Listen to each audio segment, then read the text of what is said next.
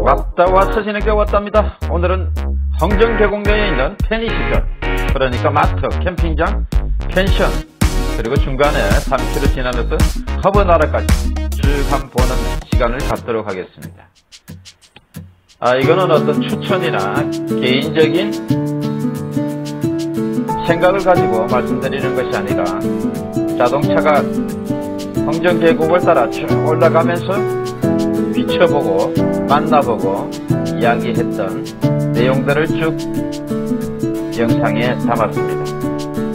아, 중간에 한 곳 정도는 펜션에 직접 들어가 보고요. 그리고 캠핑장 두 곳 정도는 내부를 한번 쭉 보는 그런 시간을 갖겠습니다. 그리고 허브나라는 별도로 나중에 영상을 해서 만들고요. 이렇게 해서 오늘 평창 홍정계곡에 있는 마트, 펜션, 캠핑장, 그리고 허브나라까지 쭉 영상으로 보시겠습니다. 아, 참고로 말씀드릴 것이 있네요. 여기 홍정계곡에는 펜션이 90개가 넘습니다. 그리고 캠핑장이 10곳이 넘습니다. 마트도 중간중간에 큰 것이 있고요.